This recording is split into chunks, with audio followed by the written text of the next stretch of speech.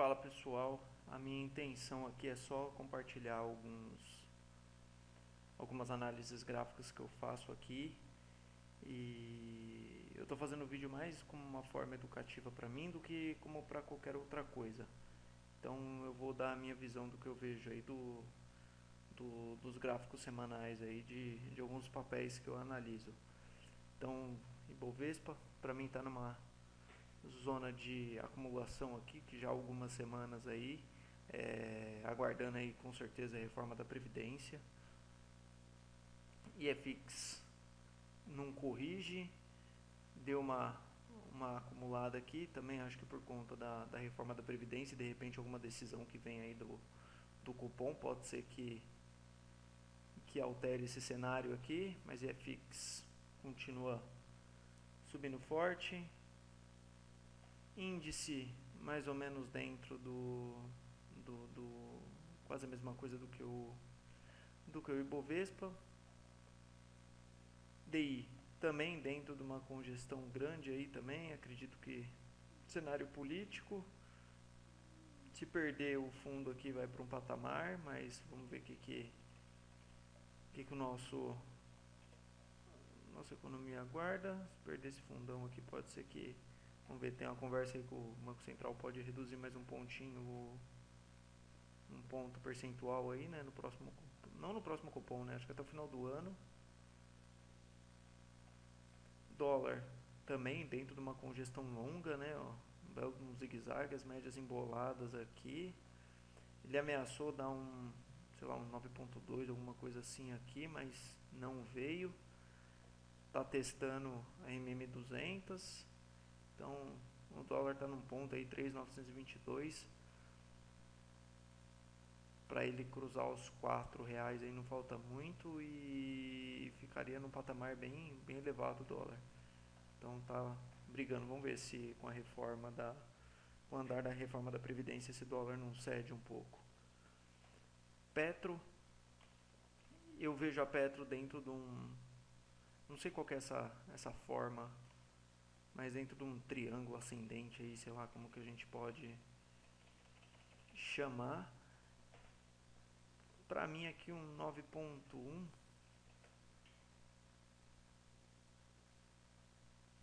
aqui pode até ser um um bom trade, pelo menos para testar essa parte de cima aqui, que é juntamente com com esses topos aqui, ó, uma bela de uma resistência. Então, daria uma entradinha aí. Stopzinho aqui embaixo. Desse fundo aqui. E deixaria arder. Ultrapar. Ultrapar deu essa entrada na venda aqui, ó. Segue. Isso aqui deve ter sido desdobramento de ações. BBDC também deve ter tido desdobramento, eu acabei não acompanhando. Está embolado aqui também. Mercado bem congestionado aí nos, nos últimos dias. Banco Inter, eu peguei ele aqui. Ele fez essa, essa bandeirinha, rompeu e eu deixei ele aqui, que é exatamente a projeção do desse triângulo para cima Aí o Bacen acho que liberou investimento estrangeiro no BIDI e ele deu outra puxada lá para cima. É papel novo, né? Não tem, não tem muita referência. B3, nossa bolsa. Eu achei que ele fosse dar um 9.1 na venda aqui, ele chegou a ativar, mas na realidade, se a gente for levar friamente, opa, que eu fiz essa bosta. Cara, eu não gosto dessa trade, mano. Aí aqui. É... Se a gente levar em consideração aqui, seria uma entrada aqui, né? Porque ele foi, corrigiu tal, deixou um candle aqui daqui pra cima. Só que tá bem embolado também. É legal quando ele tá dá uma pernadinha. Então, B3 nada. Banco do Brasil também feio. Santander. Para mim ele ia ativar um 9.1 aqui, ele até ativou, não chegou a dar o stop ainda. Mas ficou bem feio agora também. Itaúsa. Itaúsa já trabalhando aí abaixo das abaixo das médias. É, não sei, mas dá a impressão de um ombro, cabeça, ombro aqui, linha de pescoço aqui. Não tá tão bonita a forma assim, mas ficaria esperto aqui, ó. Teria um belo espaço de queda aqui na Itaúsa. ABCB. Também outro papelzinho meio enroscado.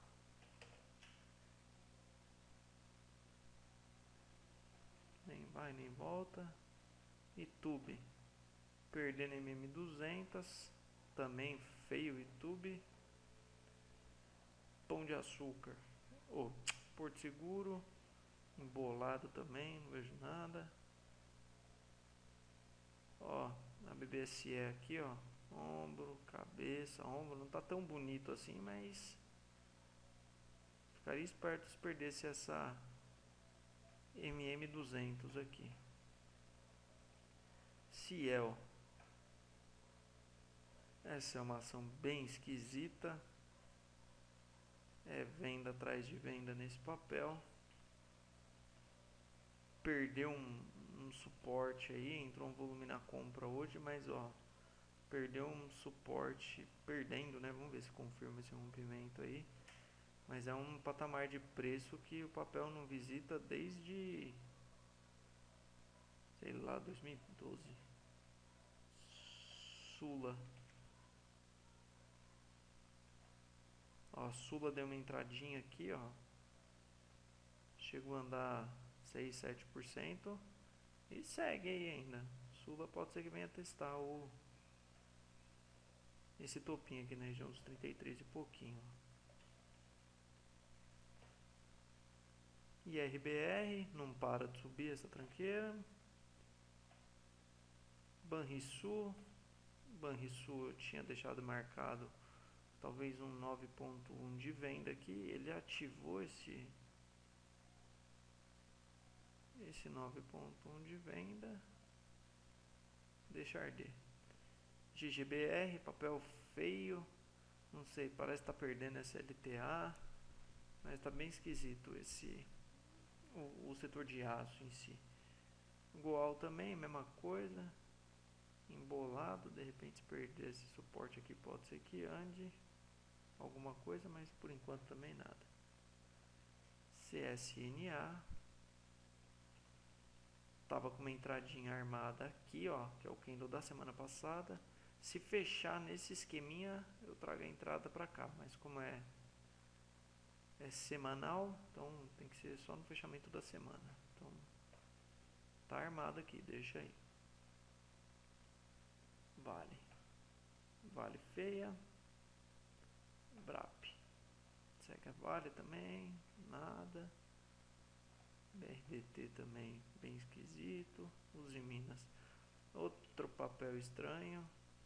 Os de Minas tem essa zona aqui de, de resistência. Aqui também tem uma, tem uma resistência. Ela ameaçou romper para cima essa TBzinha meia boca aqui, mas também, setor de aço bem esquisito. Braskem. Braskem tá brigando em cima dessa LTA meio antiga aí, ó. Já tem um, dois, três testes.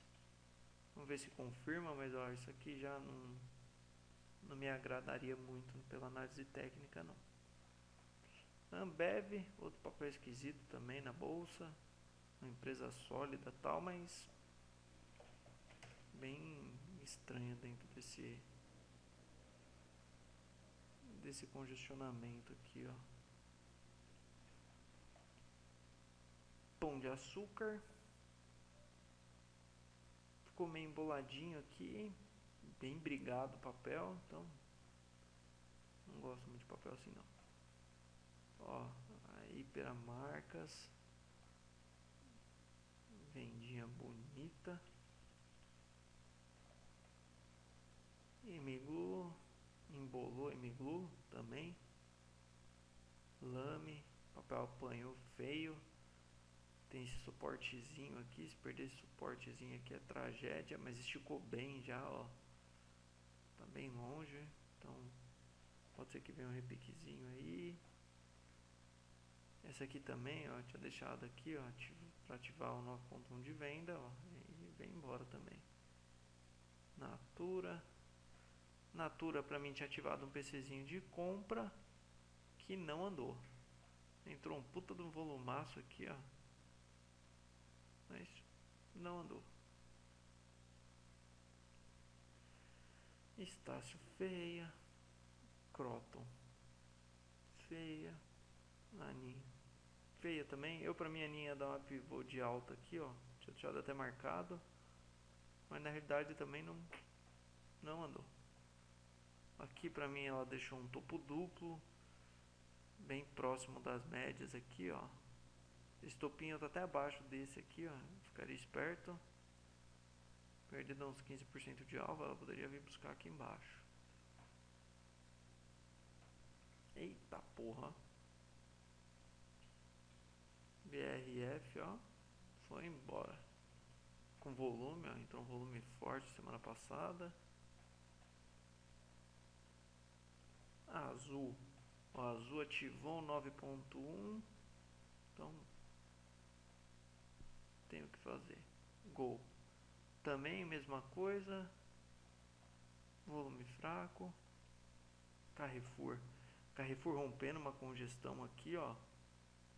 Confirmar esse rompimento aqui, acho que fica legal. Divulga o balanço aí, balanço. Sai um balanço bacana do Carrefour. BR Malls. BR Malls eu vejo uma vendinha aqui, ó. Mas aqui esse candle é dessa semana, né? Então, se fosse considerar, seria perdência 200 aqui. Deixa, vamos ver. Se fechar aqui, ó, assim, dá uma vendinha da BR Malls. Lojas Renner, nada. Grendene, ó. Deixa um setinho aqui. Ativou um 9.1 de venda. Chutaria aqui embaixo. Camil. Ômega. Ômega absurdo. Olha lá. Rompeu. Foi embora. Light. Esquisita. Semig. Semig acho que só se romper aqui em cima para ficar interessante. Nada. CESP também. Nada. Nada. Elet. O Elet eu tinha marcado 9.1 aqui. De venda. Mas deixou até um PC aqui com entrada de compra. Então pode ser até que stop esse 9.1 de venda. Copel. Nada. Gafisa. Gafisa perdeu um puta de um suporte, ó, mínimas históricas. Então, esse é um papel que deu um calote aí na galera. KLB nada. Nada. CCRO. Vendinha na CCRO. Tá rolando. EcoR praticamente a mesma coisa, brigando aí, só que tem essa MM200. Susby, Shin, Smile, Rente, a localiza. Tinha dado uma entradinha na compra aqui.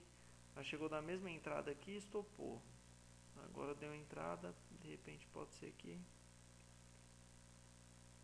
que ande mais um pouquinho. Rumo nada. CSNA ameaçando romper essa, essa congestão da COSAN, é, topo histórico, é isso, rompendo o topo histórico a COSAN, Tupi, nada, Qualicorp, nada, QGEP, ó, QGEP armou um PC meio esquisito aqui, ó, tava armado aqui. Deveria ter trazido aqui, mas esse fim de semana não, não olhei. E teria entrada aqui.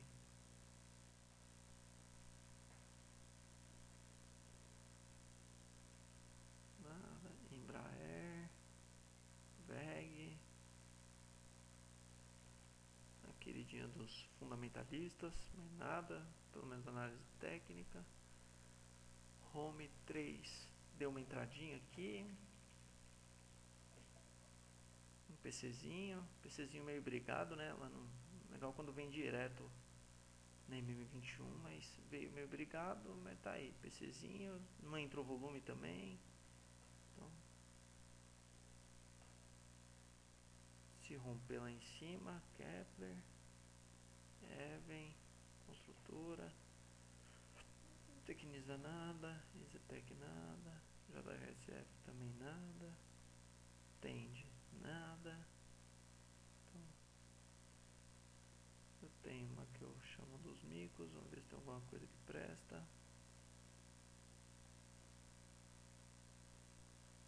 Amar. Sei lá que essa lojas Marisa achou na vida aí. Aqui ó. Respeitou SLTA, rompeu MM200, entrou um volume absurdo aqui. Tá indo embora. Deixa aí.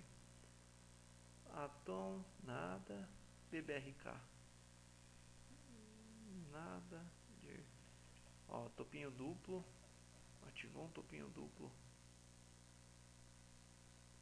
Junto com um 9.1 aqui. Então, de MMO, nada, horrível. Lenha, Eternity, lenha, Grendene, eu já tinha passado a Grendene. Ó, outra venda e DVL. Nada. IGBR piorou. Vixe, nada. Nada. Wops. Ó, aqui tinha dado, ó, no 9.2 aqui, ó. Aqui assim, ó.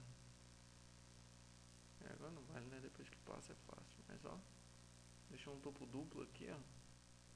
Deu um aqui, voltou, outro aqui. Nada, meus. Nada. Foi BR também. Nada. Nada, pin. Nada. Paraná dá problema, nada. Pomo, nada. Nada. Nada. Nada. Ó, essa renew aqui.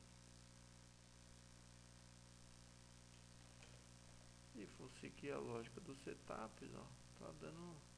Ativou uma entradinha aqui. Que a lógica é o seguinte. Deu a pernada. Corrigiu. Para dar outra pernada. Então, esse é o pensamento. Então, aqui seria outra entrada. Não. Psh, lenha. Lenha. Nada. Nada. Nada. Nada. Tegma. Nada. Nada.